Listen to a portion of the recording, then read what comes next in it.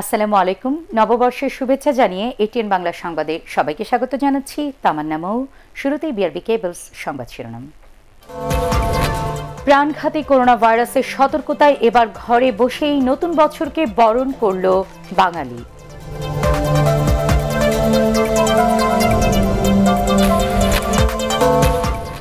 এক হাজার ছাড়ালো দেশে করোনা আক্রান্তের সংখ্যা। মৃতের সংখ্যা বেড়ে দাঁড়িয়েছে ছেচল্লিশ জনে জানালো আইইডিসিআর।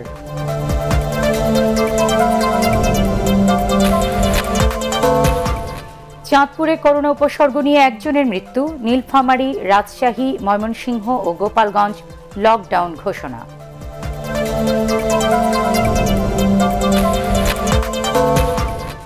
রাজধানীতে করোনায় মৃতদের শেষ ঠিকানা খিলগাঁও তালতলা কবরস্থান। শেষ যাত্রায় থাকতে পারছেন না স্বজনরা।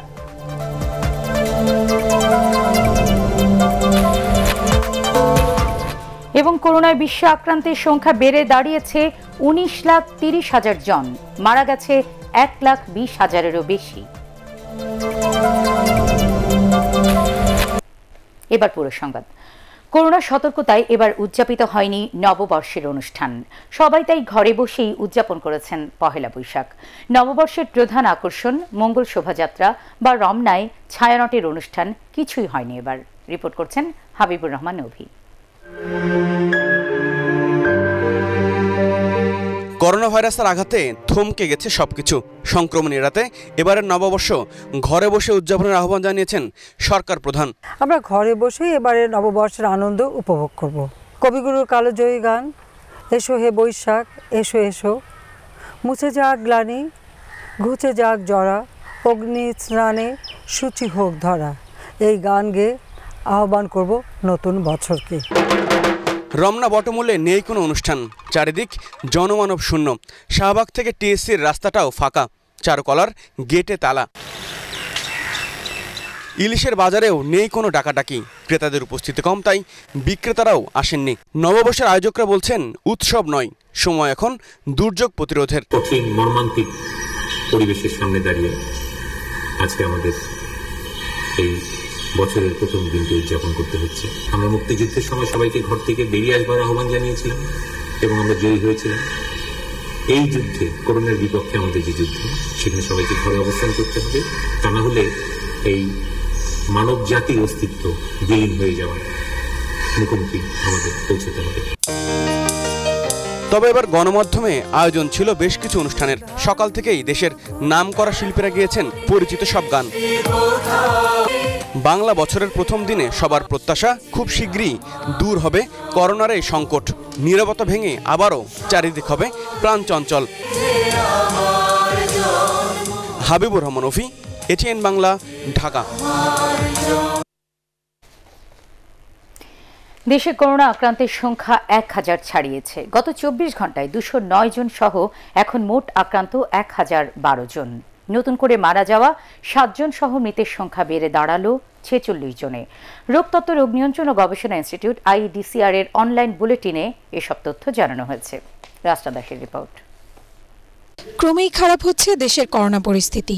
বাংলা নববর্ষের প্রথম দিনে এক হাজার ছাড়িয়ে গেছে আক্রান্তের সংখ্যা। বেড়েছে মৃতের সংখ্যাও।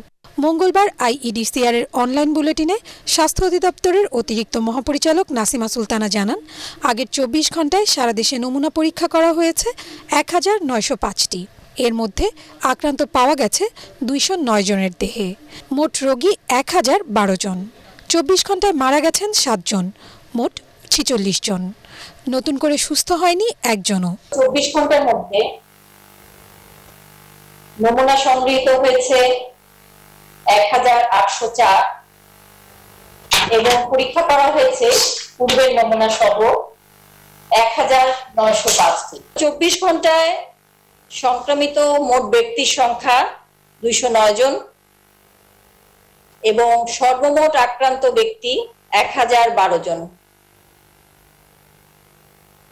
গত চব্বিশ ঘন্টায় দুঃখের সাথে জানাচ্ছি, গত চব্বিশ ঘন্টায় মৃত্যুবরণ করেছেন সাতজন এবং আমাদের সর্বমোট মৃত্যু সংখ্যা দাঁড়াল ছেচল্লিশ জন।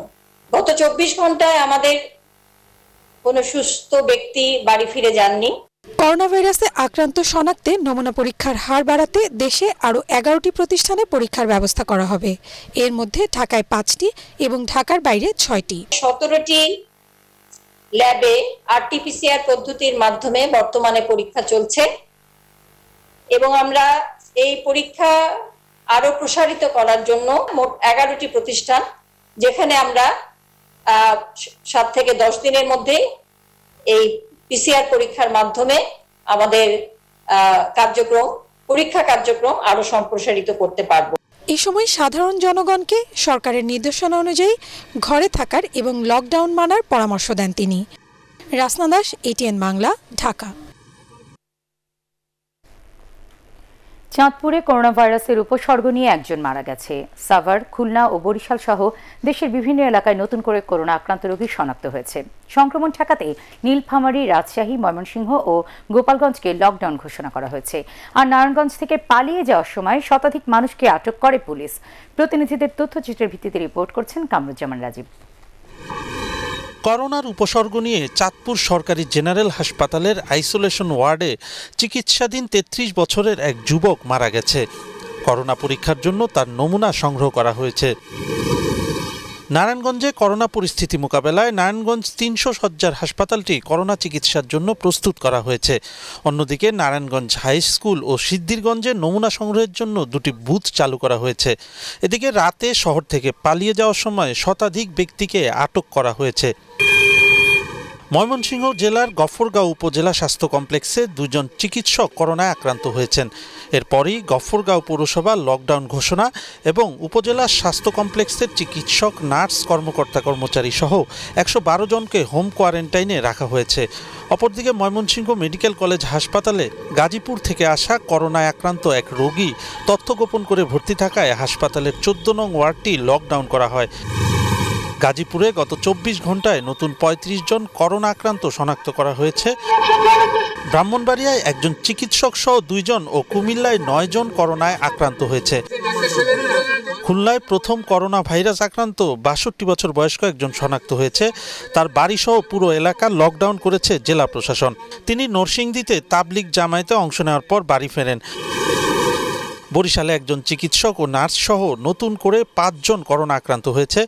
এদের বাড়ি ও এলাকা লকডাউন করা হয়েছে। গাইবান্ধায় আরও দুজন করোনায় আক্রান্ত শনাক্ত হয়েছে। সাভারে প্রথম একজন চিকিৎসক করোনায় আক্রান্ত হয়েছেন। করোনা আক্রান্ত এক ইতালি প্রবাসীকে চিকিৎসা দেওয়ায় নোয়াখালী জেলা শহরের প্রাইম হসপিটালকে লকডাউন করা হয়েছে। লকডাউন বাস্তবায়নে নোয়াখালী জেলার বিভিন্ন প্রবেশদ্বার ও অভ্যন্তরীণ সড়কে চেকপোস্ট বসিয়ে তল্লাশি জোরদার করা হয়েছে। কামরুজ্জামান রাজীব, এটিএন বাংলা। টাঙ্গাইলের সখীপুরে এক নারীকে করোনা সন্দেহে জঙ্গলে ফেলে রেখে পালিয়ে গেছেন তার স্বামী সন্তানরা। সোমবার গভীর রাতে উপজেলার গজারিয়া ইউনিয়নের ইচ্ছাদিঘি গ্রামের এক জঙ্গলে ওই নারীকে পাওয়া যায়। গজারিয়া ইউপি চেয়ারম্যান আব্দুল মান্নান মিয়া ও স্থানীয় ইউপি সদস্য আবুল কালাম আজাদ জানান জঙ্গলে ওই নারীর চেঁচামেচি শব্দ শুনে বিষয়টি ইউএনওকে জানানো হয়। পরে ইউএনও আসমাউল হুসনা লিজা রাতেই পুলিশ ও ডাক্তারদের নিয়ে ঘটনাস্থলে গিয়ে ওই নারীকে উদ্ধার করেন। ওই নারীর বাড়ি শেরপুর জেলার নালিতা বাড়িতে। তার স্বামী সন্তানরা গাজীপুরের শালনায় পোশাক কারখানায় কাজ করেন। উপজেলা স্বাস্থ্য কমপ্লেক্সের আবাসিক medical officer doctor Shahinur Alam জানান, ওই নারীর জ্বর, শ্বাসকষ্ট ও গলা ব্যথা রয়েছে। তাকে ঢাকা মেডিকেল কলেজ হাসপাতালের আইসোলেশন বিভাগে ভর্তি করা হয়েছে। हे করোনা সন্দেহে স্থানীয়দের বাধার মুখে পারিবারিক কবরস্থানে দাফন করা যায়নি এক নারীকে। সোমবার রাতে ফেনী সদর উপজেলার আবুপুর এলাকায় এ ঘটনা ঘটে। পরে প্রশাসনের হস্তক্ষেপে তাকে পৌরসভার সরকারি কবরস্থানে দাফন করা হয়। উপজেলা নির্বাহী কর্মকর্তা নাসরিন সুলতানা জানান, কিডনি সমস্যা নিয়ে ওই নারী রাজধানীর একটি বেসরকারি হাসপাতালে মারা যান। স্বজনরা মরদেহ নিয়ে গ্রামে পৌঁছলে স্থানীয়রা করোনা সন্দেহে লাশ দাফনে বাধা দেন। এক পর্যায়ে তারা মৃতদেহ বহনকারী অ্যাম্বুলেন্সে ভাঙচুর চালান। এবং স্বজনদের সাথে বাঘ বিতণ্ডায় জড়িয়ে পড়েন। পরে প্রশাসন ও পুলিশের সহযোগিতায় শহরের সুলতানপুর এলাকার সরকারি পৌর কবরস্থানে তাকে দাফন করা হয়। করোনা ভাইরাস প্রতিরোধে দেশের সব মানুষকে স্বাস্থ্যবিধি মেনে চলার আহ্বান জানিয়েছেন আওয়ামী লীগ সাধারণ সম্পাদক ওবায়দুল কাদের। তিনি বলেন, শতভাগ সচেতনতা ও সামাজিক দূরত্ব রক্ষাকে এবার বাংলা নববর্ষের অঙ্গীকার হিসেবে গ্রহণ করতে হবে। রাজধানীর সরকারি বাসভবনে এক ব্রিফিংয়ে আওয়ামী লীগের পক্ষ থেকে দেশবাসীকে বাংলা নববর্ষের শুভেচ্ছা জানানোর সময় ওবায়দুল কাদের এসব কথা বলেন। বৈশ্বিক মহামারী করোনা ভাইরাস প্রতিরোধে দেশের সকল মানুষের স্বাস্থ্যবিধি মেনে চলা, শতভাগ সচেতনতা, সামাজিক দূরত্ব রক্ষার শপথিও এবারে বাংলা নববর্ষে আমাদের সকলের সম্মিলিত অঙ্গীকার। সকলেই ঘরে থাকুন, স্বাস্থ্যবিধি মেনে চলুন, সুস্থ থাকুন। করোনা ভাইরাস প্রতিরোধে বীরের জাতি বাঙালি। প্রতিরোধ যুদ্ধে জয় আমাদের হবেই, ইনশাল্লাহ। বাংলা নববর্ষ চোদ্দশো সাতাশ সকলের জীবনে মঙ্গল ও কল্যাণ বয়ে আনুক সরকারের অবহেলায় দেশের করোনা পরিস্থিতি মারাত্মক আকার ধারণ করেছে বলে অভিযোগ করেছেন বিএনপির স্থায়ী কমিটির সদস্য ডক্টর খন্দকার মোশারফ হোসেন। এক ভিডিও বার্তায় তিনি বলেন করোনা মোকাবেলায় এখনও প্রয়োজনীয় সংখ্যক হাসপাতাল প্রস্তুত করা হয়নি। সরকার সমর্থকরা ওএমএস এর চাল লুটপাট করছেন অভিযোগ করে সেনাবাহিনীকে চাল বিতরণের দায়িত্ব দেওয়ার আহ্বান জানান খন্দকার মোশারফ এখনও আমরা অনুরোধ করছি, যথাযথভাবে এই পরীক্ষা সম্প্রসারণ করে, সংখ্যা বৃদ্ধি করে যত সম্ভব দ্রুত সারা বাংলাদেশে এই করোনা ভাইরাস আক্রান্ত থেকে চিহ্নিত করা হোক, তাদের চিকিৎসা করা হোক, হাসপাতালগুলোতে আইসিইউ বেড এবং পর্যাপ্ত ভেন্টিলেটর আপনারা সংগ্রহ করে এটা প্রস্তুত রাখুন। করোনা মহামারী পরিস্থিতিতেও রাজধানীর অনেক মানুষ ঘরে থাকা সরকারি নির্দেশনা মানছেন না। সশস্ত্র বাহিনী ও আইন শৃঙ্খলা রক্ষাকারী বাহিনীর নিরলস চেষ্টার পরও সচেতন হচ্ছেন না তারা। সরকারি নির্দেশনা অমান্যকারীদের বিরুদ্ধে নেওয়া হচ্ছে আইনি ব্যবস্থা। রিপোর্ট করছেন হুমায়ুন চিস্তি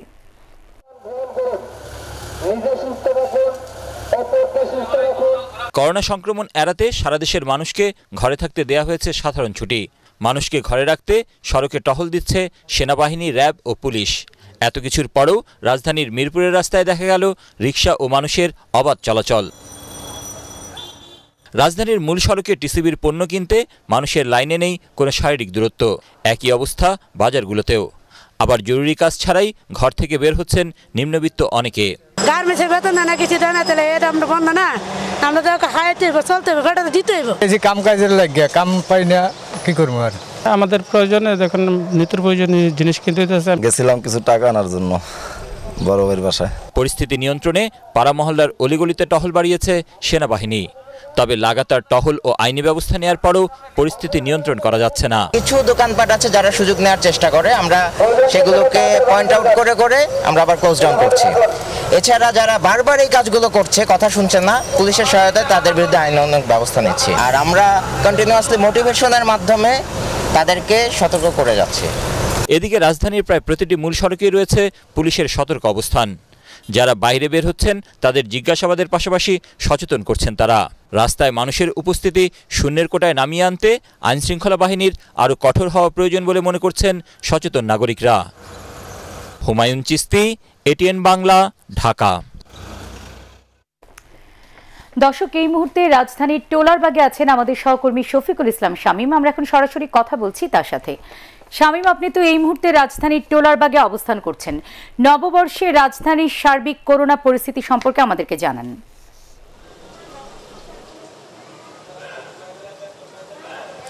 তামান্না, আসলে কিন্তু দিন দিন ভয়াবহ পরিস্থিতির দিকে যাচ্ছে। করোনার বিস্তার কিন্তু বেড়েই চলছে এবং মৃত্যুর সংখ্যাও আস্তে আস্তে বাড়ছে। এ কারণে কিন্তু সরকারের পক্ষ থেকে নানা রকম উদ্যোগ নেওয়া হলেও আমরা লক্ষ্য করেছি যে বিভিন্ন এলাকায় কিন্তু হোম কোয়ারেন্টাইন মানা হচ্ছে না। বিশেষ করে সরকারের পক্ষ থেকে যেটা বলা হচ্ছে যে বাড়িতে থাকার জন্য, বাড়িতে অবস্থান করার জন্য কিন্তু আমরা কিন্তু সচরাচর বিভিন্ন জায়গায় লক্ষ্য করেছি যে, তারা কিন্তু সড়কে নেমে পড়ছেন এবং সন্ধ্যার পরে যেহেতু ছটার পরে কিন্তু বাইরে থাকা একদমই নিষেধ করা হয়েছে, তারপরও কিন্তু অনেকেই বের হচ্ছেন। তবে আমরা কিছু কিছু ভিন্ন ধর, ভিন্ন চিত্র আমরা লক্ষ্য করেছি বিভিন্ন এলাকা বিশেষ করে এলাকাগুলোতে কিন্তু, বিশেষ করে মহল্লাগুলোতে তারা কিন্তু তাদের যে লকডাউন প্রক্রিয়া সেটি কিন্তু অব্যাহত রেখেছেন এবং লকডাউনের বিষয়টি তারা নিজ উদ্যোগেই তারা কিন্তু পুরোপুরি তারা ব্যবস্থা করেছেন। আমি টোলারবাগে রয়েছে এবং টোলারবাগে এখানে আমরা লক্ষ্য করেছি যে গার্ডদের সাথে কিন্তু মালিক পক্ষের লোকজন রয়েছেন। তারাও চাচ্ছেন যাতে এই লকডাউন এলাকাবাসী মানেন এবং তারা যাতে মেইন সড়কে তারা না আসে। তো আমরা একটু কথা বলার চেষ্টা করব। আচ্ছা আপনারা, আপনি তো একজন বাড়ি মালিক, বাড়ির মালিক হিসেবে আপনারা আসলে কি ব্যবস্থা নিয়েছেন? এখানে তো আমরা লক্ষ্য করেছি যে, অনেকে বের হচ্ছেন। তো কোন ধরনের লোকদের আপনারা ছাড় দিচ্ছেন? এখন যারা মানে কাজ করে খায় টাইমলি চলে আসে আমাদের এখানে আমরা ছয়টা পর্যন্ত ই রেখেছি। ছয়টার ভিতরে সবাই চলে আসবে। ছয়টার মানে পরে আপনারা আপনারা ছয়টার পরে কি পুরোপুরি একদম কড়াকড়ি আরোপ? সম্পূর্ণ সম্পূর্ণ ই করে দেওয়া হবে। আর এছাড়া তো দিনের বেলায় আমরা বিভিন্ন সময় দেখেছি গণমাধ্যম কর্মীরা যে লোকজন ঢোকে তো সেক্ষেত্রে এবং হাঁটা চলা করে সেক্ষেত্রে আপনারা কি ব্যবস্থা সেখানে আমরা লোকরে যথেষ্ট বোঝায় প্রশাসনের সাথে সাথে আমরা নিজেরাও বোঝায় চেষ্টা করতেছি যে তাদের তাদের ই করে রাখা যায় আর কি। এই ধরনের ব্যবস্থা। আপনারা প্রশাসনকে সহযোগিতা করছেন। আসলে তামার না তারা কিন্তু চাচ্ছেন যে প্রশাসনকে সহযোগিতা করতে এবং প্রশাসনের পাশাপাশি তারা বাড়ির মালিক পক্ষ থেকে বাড়ির মালিকদের পক্ষ থেকে তারাও চাইছেন যাতে কোনো ধরনের যে একটি সামাজিক দূরত্ব বজায় রেখে যাতে তারা চলতে পারে সেই ব্যবস্থাই করছেন এবং যাতে পরিস্থিতি খারাপ দিকে না যায় কোনোভাবেই সেটা কিন্তু তারা ব্যবস্থা করছেন। তো সব মিলিয়ে বলা চলে যে আজকে নববর্ষের দিন তারপর কিন্তু একটি আহ, নীরবতায় রয়েছে চারদিকে এবং সবাই কিন্তু মোটামুটি এখন ঘরে ফিরে গেছেন এবং রাস্তাঘাট কিন্তু আরও নীরব হয়ে গেছে অনেকটাই দিনের চেয়ে। তো এই ছিল আমার কাছে মিরপুরের টোলারবাগ থেকে সবশেষ পরিস্থিতি। তামান্না। শামীম, আপনাকে ধন্যবাদ। দর্শক, রাজধানীর টোলারবাগ থেকে সবশেষ পরিস্থিতি জানাচ্ছিলেন আমাদের সহকর্মী শফিকুল ইসলাম শামীম। স্বচ্ছ ইমেজ ও মানবিক পুলিশ বাহিনী প্রতিষ্ঠায় সর্বোচ্চ চেষ্টা করেছেন বলে জানিয়েছেন পুলিশের বিদায়ী মহাপরিদর্শক ডক্টর জাবেদ পাটোয়ারি। তিনি জানান করোনা ভাইরাস মোকাবেলায় জনগণকে ঘরে রাখা ও সচেতন করতে পুলিশ মাঠে রয়েছে। আইজিপি হিসেবে দায়িত্ব শেষ করে বিদায় নেওয়ার আগে ভিডিও কনফারেন্সের মাধ্যমে তিনি এসব কথা বলেন। আরও জানাচ্ছেন নিয়াজ জামান সজীব পিতা বঙ্গবন্ধু শেখ মুজিবুর রহমানকে প্রায় ৩৫ বছরের চাকুরি শেষে পুলিশের সর্বোচ্চ পদ থেকে বিদায় নিচ্ছেন doctor Javed Patwari. Corona virus পরিস্থিতির কারণে ভিডিও কনফারেন্সের মাধ্যমে করা বিদায়ী সংবাদ সম্মেলনে তিনি বলেন পুলিশের নিয়োগ পদোন্নতি ও পদায়নের ক্ষেত্রে স্বচ্ছতা নিশ্চিত করতে মেধাবীদের গুরুত্ব দেওয়া হয়েছে। আমরা প্রায় সাড়ে তিন হাজার সাব ইন্সপেক্টর এবং প্রায় তেরো হাজার কনস্টেবল আমরা নিয়োগ করেছি। আমাদের এই নিয়োগ প্রক্রিয়া অত্যন্ত স্বচ্ছ যেখানে মেধার ভিত্তিতে স্বচ্ছতার সাথে লোক নিয়োগ হয়েছে। করোনা ভাইরাস মোকাবেলায় পুলিশের অগ্রণী ভূমিকার কথা উল্লেখ করে তিনি বলেন জঙ্গি সন্ত্রাস মাদক মোকাবেলায় পুলিশের প্রশিক্ষণ ছিল। এখন অদৃশ্য শত্রুর বিরুদ্ধে যুদ্ধে পুলিশ মানবিকভাবে কাজ করছে। এই যুদ্ধে আমাদের নেই কোনো ট্রেনিং কিন্তু তারপরেও আমরা কিন্তু পিছুপা হইনি। প্রথম সেই জানুয়ারি থেকেই আমরা আমাদের পুরো পুলিশ বাহিনীকে প্রস্তুত করার সর্বতভাবে প্রচেষ্টা নিয়েছি। প্রথম থেকেই চেষ্টা করেছি মানুষকে সচেতন করা। তার কারণ, মানুষকে সচেতন না করতে পারলে এই করোনা থেকে পরিত্রাণ কোনো দেশ পায়নি, সেটি আমরা বিশ্বের দিকে তাকালেই দেখতে পাই। দায়িত্ব পালনকালে সহযোগিতার জন্য গণমাধ্যম কর্মীদের ধন্যবাদ জানান তিনি। নতুন আইজিপি তার দেখানো পথ অনুসরণের পাশাপাশি নিজের মেধাকে কাজে লাগিয়ে পুলিশ বাহিনীকে আরও দক্ষ ও আধুনিক করে গড়ে তুলবেন বলেও আশা করেন তিনি। নিয়াজ জামান সজীব এটিএন বাংলা ঢাকা। রাজধানীতে করোনা ভাইরাসে আক্রান্ত হয়ে মারা যাওয়া ব্যক্তিদের শেষ ঠিকানা হচ্ছে খিলগাঁও তালতলা কবরস্থান। কারও শেষ যাত্রায় উপস্থিত থাকতে পারছেন না স্বজনরা। মৃত ব্যক্তির জানাজা ও দাফন সহ সব আনুষ্ঠানিকতা করছেন আল মার্কাজুলের কর্মীরা। বিস্তারিত জানাচ্ছেন শফিকুল ইসলাম শামীম। ক্যামেরায় ছিলেন আশিক রাসেল। করোনা ভাইরাসে আক্রান্ত হয়ে মারা যাওয়া ব্যক্তির এখন শেষ ভরসা হচ্ছে আল মার্কাজুল ইসলাম। মৃত ব্যক্তির জানাজা ও দাফনের গুরু দায়িত্বটি পালন করছেন সংস্থাটির কর্মীরা। খিলগাঁওয়ের তালতলা কবরস্থানের গোরখোদকরা প্রস্তুত থাকেন, লাশবাহী অ্যাম্বুলেন্স ঢোকার আগেই। কবরস্থানে লাশ আসার পরপরই ইসলামী শরিয়া অনুসারে মাত্র দশ থেকে পনেরো মিনিটের মধ্যে আল মার্কাজুলের সদস্যরা জানাজা শেষে মৃত ব্যক্তির দাফন শেষ করেন। দাফন প্রক্রিয়া শেষে ভাইরাস সংক্রমণ রোধে লাশবাহী গাড়ি জীবাণুমুক্ত করা হয় এবং শরীরে পড়ে থাকা পিপিইগুলো পুড়িয়ে ফেলা হয় কবরস্থানে। আমাদেরকে এভাবে ট্রেনিং দেওয়া হয়েছে যে আমরা অল্প সময় কীভাবে একজন মাইয়াতের দাফন কাফনের ব্যবস্থা ছাড়তে পারি। আমাদের ড্রেসগুলো আমরা অতীত ওয়ান টাইম হিসেবে ইউজ করি, এগুলো এবং সেগুলোকে আমরা জ্বালিয়ে দিই। আল মার্কাজুলের ভারপ্রাপ্ত চেয়ারম্যান জানান, মৃত ব্যক্তির লাশ গ্রহণ থেকে শুরু করে পুরো প্রক্রিয়া শেষ করতে সময় লাগছে চল্লিশ মিনিট। রুমটাকে ভালো করে স্প্রে করে নেওয়া হচ্ছে। লাশের যে ইউজের যে জিনিসগুলো থাকে, মাইক্রোওয়েভ, ফ্রিজ, এগুলোকে ভালো করে স্প্রে করে নিয়ে গোসলটা আমরা স্প্রের মাধ্যমে করাই। মগ বালতি দিয়ে ডাইরেক্টভাবে না করাই না, ছিটে আসতে পারে। সরকার থেকে আমরা যে সাপোর্ট এবং যে হেল্পগুলো পাচ্ছি, আলহামদুলিল্লাহ, সেই সাপোর্টটা যদি আমরা কন্টিনিউসলি ভাবে পেতে থাকি, তাহলে ইনশাল্লাহ আমাকে ইসলামের দ্বারা সম্ভব বাংলাদেশের মানুষের দুয়ারে দুয়ারে এই সেবাটা পৌঁছে দিতে প্রথম দিকে কিছুটা ভয় কাজ করলেও এখন আর সমস্যা হচ্ছে না দাফনের কাজে অংশ নেয়া কর্মীদের। তবে প্রথম দিনের মরদেহ দাফন নিয়ে কবরস্থানে দায়িত্বরতদের রয়েছে ভিন্ন অভিজ্ঞতা। প্রথম যে করোনার রোগীটি আমরা দাফন করলাম তখন আমাদের কোনো পূর্ব অভিজ্ঞতা ছিল না তো ওইটা নিয়ে আমরা সবাই একটু ভয়ে ছিলাম। পরবর্তীতে মার্কাজুল ইসলাম একটা টিম আসে ওনারা এসে ওনারা জানাজা পরে ওনারা দাফন দেয় তখন থেকে আমরা আবার একটু ভালোভাবে ডিউটি করতে পারতেছি। করোনায় আক্রান্ত অন্য ধর্মের মৃত ব্যক্তিকে সমাহিত করার ক্ষেত্রেও সহযোগিতা করছে আলমার মার্কাজুল ইসলাম। প্রিয় মানুষটির জানাজা এবং দাফনে স্বজনরা উপস্থিত থাকবেন না একথা হয়তো চিন্তাই করা যায় না। কিন্তু বিশ্বব্যাপী ছড়িয়ে পড়া করোনা ভাইরাসের কারণে এখন পরিস্থিতি ভিন্ন দিকে। খুব দ্রুত সময়ে বাংলাদেশ করোনা মুক্ত হবে। সাধারণ মানুষ ফিরবে তাদের স্বাভাবিক জীবনে। এমনটাই প্রত্যাশা সবার। শফিকুল ইসলাম শামেম এটিএন বাংলা ঢাকা। অবৈধভাবে বিক্রি বা মজুত করার কারণে দেশের বিভিন্ন স্থান থেকে প্রায় সাড়ে তিনশো বস্তা চাল ও টিসিবির বিপুল পরিমাণ সয়াবিন তেল উদ্ধার করা হয়েছে। পাবনায় দুশো উনত্রিশ বস্তা চাল সহ বেড়া উপজেলার ঢালারচর ইউপি চেয়ারম্যান কোরবান আলীকে আটক করেছে র্যাব। সোমবার রাতে উপজেলার বাধেরহাট বাজার থেকে তাকে আটক করা হয়। তার বিরুদ্ধে বিশেষ ক্ষমতা আইনে মামলা হয়েছে। এদিকে ত্রাণের চাল চুরির সাথে জড়িত থাকার অভিযোগে কোরবান আলীকে বহিষ্কার করেছে জেলা আওয়ামী লীগ। এ ঘটনায় সহায়তা করায় বেড়া উপজেলা আওয়ামী লীগ সভাপতি আব্দুল বাতেনকে দল থেকে অব্যাহতি দেওয়া হয়েছে। বরিশালের গরু নদীর বাকাই বাজারের একটি দোকান থেকে খাদ্য বান্ধব কর্মসূচির চুয়ান্ন বস্তা চাল উদ্ধার করা হয়েছে। এ সময় চালের বিক্রেতা বাকাই বাজারের ডিলার উপজেলা স্বেচ্ছাসেবক লীগের সহ সভাপতি প্রদীপ কুমার দত্ত, চাল ক্রেতা পঙ্কজ সাহা ও ভ্যান চালক শঙ্কর পালকে গ্রেফতার করেছে পুলিশ। ভোলার দৌলতখানে এক মুদি ব্যবসায়ীর বসতঘর থেকে আটত্রিশ বস্তা সরকারি চাল উদ্ধার করেছে উপজেলা প্রশাসন। দুপুরে উপজেলার চর খলিফা ইউনিয়নের দলিল উদ্দিনের খায়ের হাট বাজার সংলগ্ন মিজিবাড়ির মুদি ব্যবসায়ী জুয়েলের বসত ঘর থেকে এসব চাল উদ্ধার করা হয়। এই ঘটনায় ব্যবসায়ী জুয়েল ও তার ভাইকে আটক করেছে পুলিশ। এদিকে রংপুরের রেল স্টেশন এলাকার একটি বাড়ি থেকে অবৈধভাবে মজুত করা টিসিবির ছয় হাজার চারশো আশি লিটার সয়াবিন তেল উদ্ধার করেছে ডিবি পুলিশ। এ সময় ইরফান হাসান সুমন নামে এক ব্যবসায়ীকে গ্রেফতার করা হয়। উদ্ধার করা তেল কালোবাজারে বিক্রির উদ্দেশ্যে মজুত করা হয়েছিল বলে পুলিশ জানিয়েছে।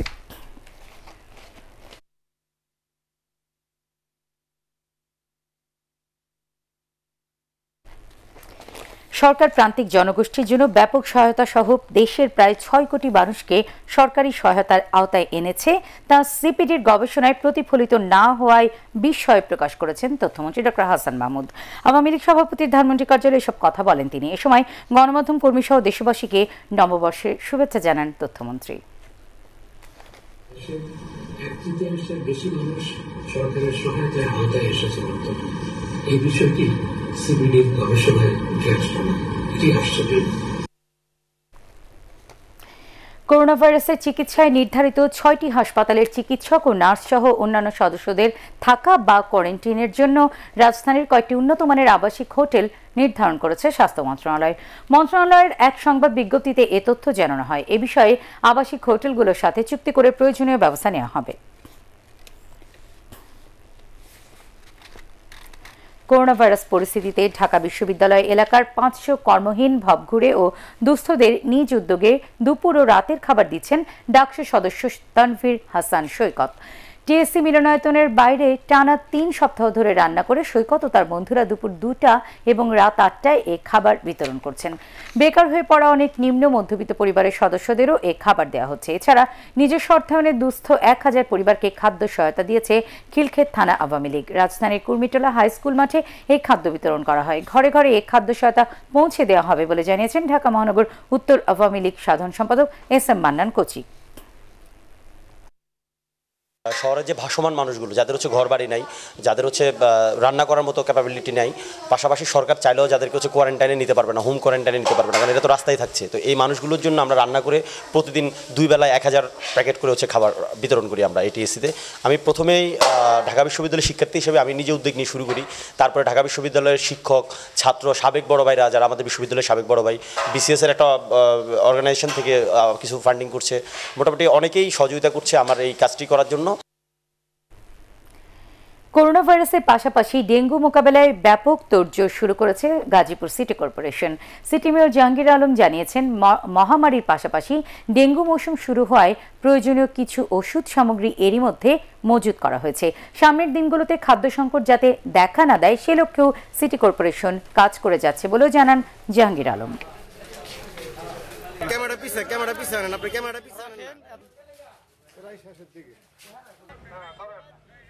এই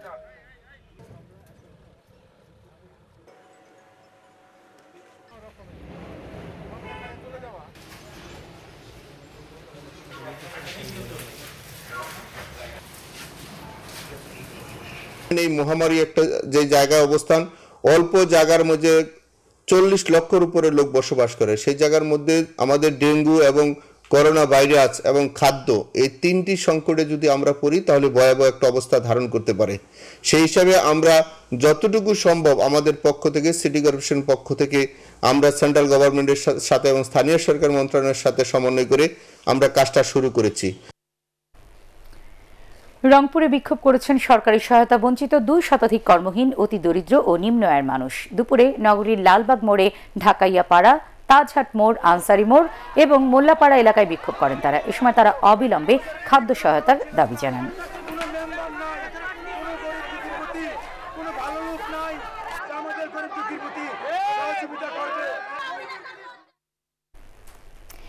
করোনা সংক্রমণ রোধে ফায়ার সার্ভিসের মাধ্যমে জীবাণুনাশক দিয়ে ধুয়ে ফেলা হচ্ছে মেহেরপুর পৌরসভার পুরো সড়ক। ধর্মীয় প্রতিষ্ঠান থেকে শুরু করে শহরের সবখানেই ছিটানো হচ্ছে জীবাণুনাশক।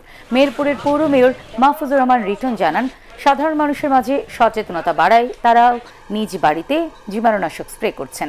নিজস্ব সুরক্ষায় জরুরি কাজ ছাড়া বের হচ্ছেন না, বাড়ির বাইরে। মেনে চলার চেষ্টা করছেন সামাজিক দূরত্ব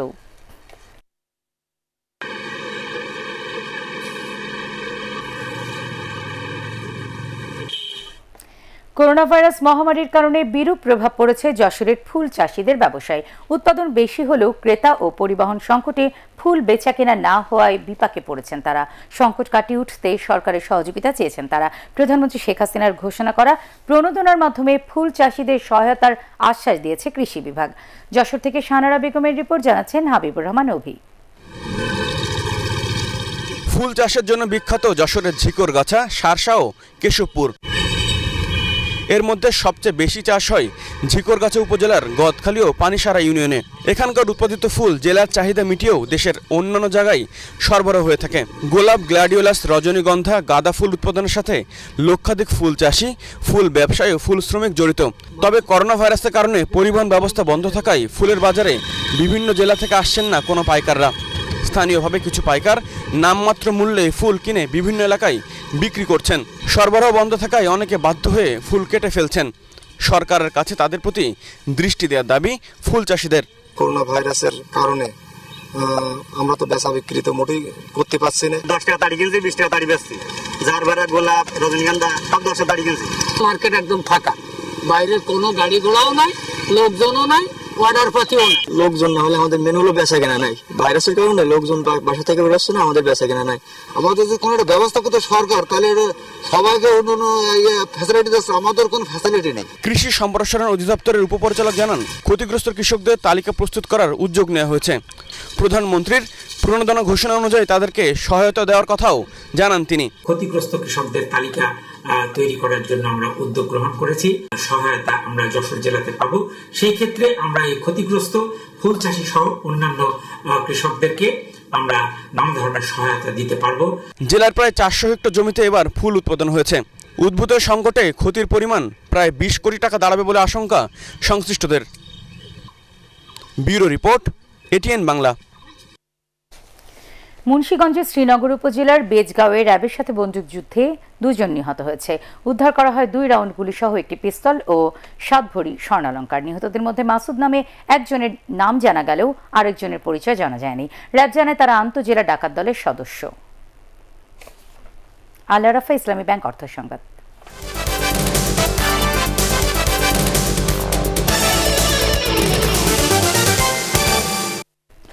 করোনা ভাইরাসের প্রভাবে ভবিষ্যৎ সংকটের বিষয় বিবেচনায় স্বল্প সময়ে ফসল উৎপাদন করা যায়।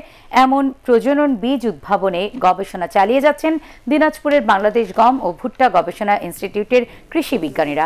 চলতি মৌসুমে দেশে চোদ্দ লক্ষাধিক মেট্রিক টন গম উৎপাদন হবে বলে আশাবাদী তারা, যা গত বছরের তুলনায় প্রায় তিন লাখ মেট্রিক টন বেশি। করোনার প্রভাব মোকাবেলায় এই ইনস্টিটিউটের কৃষি বিজ্ঞানীরা গুরুত্বপূর্ণ ভূমিকা রাখবেন বলে মনে করেন জনপ্রতিনিধিরা।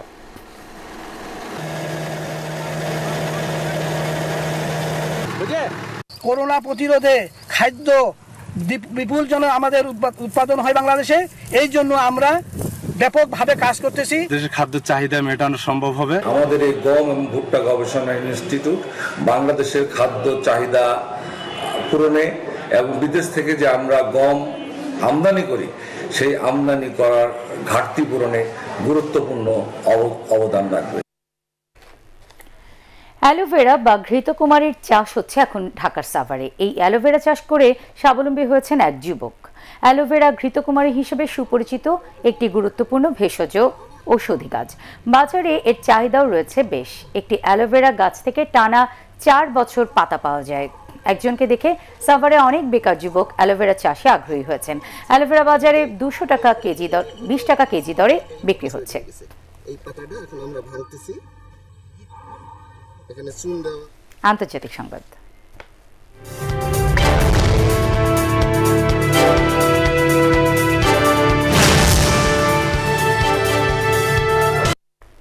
ভারতে লকডাউনের সময় আগামী তিন মে পর্যন্ত বাড়ানোর ঘোষণা দিয়েছেন দেশটির প্রধানমন্ত্রী নরেন্দ্র মোদী। টেলিভিশনে জাতির উদ্দেশ্যে দেওয়া ভাষণে তিনি এ ঘোষণা দেন। সপ্তাহখানেক পর কৃষি শ্রমিক সহ দিন আনা, দিন খাওয়া মানুষের স্বার্থে তাদের চলাচলে বিধিনিষেধ কিছুটা শিথিল করা হবে বলেও ইঙ্গিত দেন নরেন্দ্র মোদী তিনি বলেন কষ্টকর হওয়ার পরও জীবন রক্ষায় বাধ্য হয়েই লকডাউন ও সামাজিক দূরত্বের বাধ্যবাধকতা বহাল রাখতে হচ্ছে भारत में लॉकडाउन को अब तीन मई तक और बढ़ाना पड़ेगा हमने जो रास्ता चुना है आज की स्थिति में वही हमारे लिए सही है। सोशल डिस्टेंसिंग और लॉकडाउन का बहुत बड़ा लाभ देश को मिला है। করোনা ভাইরাসের বিরুদ্ধে লড়াইয়ে আলজেরিয়ার এক হাসপাতালকে স্বাস্থ্য কিট ভেন্টিলেটর, মনিটর ও অন্যান্য চিকিৎসা সামগ্রী দান করেছেন রিয়াল মাদ্রিদের ফরাসি কোচ জিনাদিন জিদান। এ পর্যন্ত আলজেরিয়ায় প্রায় দু হাজার মানুষ আক্রান্ত হয়েছেন। প্রাণঘাতী করোনা ভাইরাসে মারা গেছে দুই শতাধিক। নিজের মায়ের দেশে এই সংকটময় অবস্থায় জিনেদিন জিদান। সাহায্যের হাত বাড়িয়ে দিয়ে বলেন করোনা ভাইরাসের বিরুদ্ধে এই যুদ্ধে সবাইকে কাঁধে কাঁধ রেখে লড়াই করতে হবে। প্রত্যেকে নিজের জায়গা থেকে হাত বাড়িয়ে দেওয়া উচিত। আগামী সতেরো জুন থেকে আবারও ঘরোয়া প্রতিযোগিতার ম্যাচ আয়োজনের সিদ্ধান্ত নিয়েছে ফরাসি ফুটবলের নিয়ন্ত্রক সংস্থা Ligue de Football Professionnel LFP সভায় এই সিদ্ধান্ত হয়। সতেরো জুন থেকে শুরু হয়ে পঁচিশ জুলাই পর্যন্ত চলবে এই লিগ। তবে ম্যাচগুলো দর্শক শূন্য স্টেডিয়ামে হবে কিনা তা জানায়নি তারা। ফরাসি কাপের ফাইনাল আয়োজন করার তারিখ নির্ধারণ করা হয়েছে সাতাশ জুন। পিএসজি ও শ্বেত এতিয়েন মুখোমুখি হবে সে লড়াইয়ে। আর ফরাসি লিগ কাপের ফাইনাল খেলতে নেইমাররা মাঠে নামবেন এগারো জুলাই। অলিম্পিক লিওর মুখোমুখি হবেন তারা। শেষ করার আগে বিআরবি কেবল সংবাদ শিরোনাম আরও একবার। প্রাণঘাতী করোনা ভাইরাসের সতর্কতায় এবার ঘরে বসেই নতুন বছরকে বরণ করল বাঙালি।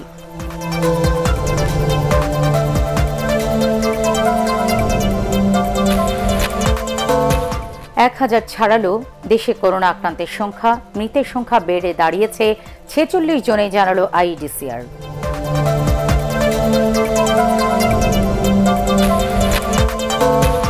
চাঁদপুরে করোনা উপসর্গ নিয়ে একজনের মৃত্যু। নীলফামারী, রাজশাহী, ময়মনসিংহ ও গোপালগঞ্জ লকডাউন ঘোষণা।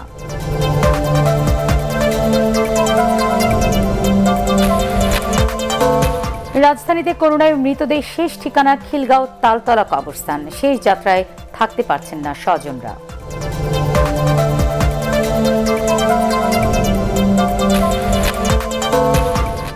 এবং করোনায় বিশ্বে আক্রান্তের সংখ্যা বেড়ে দাঁড়িয়েছে উনিশ লাখ ত্রিশ হাজার জনে।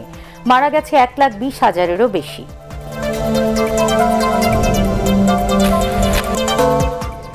পরবর্তী সংবাদ দেখার আমন্ত্রণ জানিয়ে এখনকার মতো শেষ করছি। সবাই ঘরে থাকুন, নিরাপদে থাকুন এটিএন বাংলার সাথেই থাকুন। এটিএন বাংলার সংবাদ ইউটিউবে দেখতে ব্রাউজ করুন, YouTube slash ATN Bangla news আল্লাহ হাফেজ।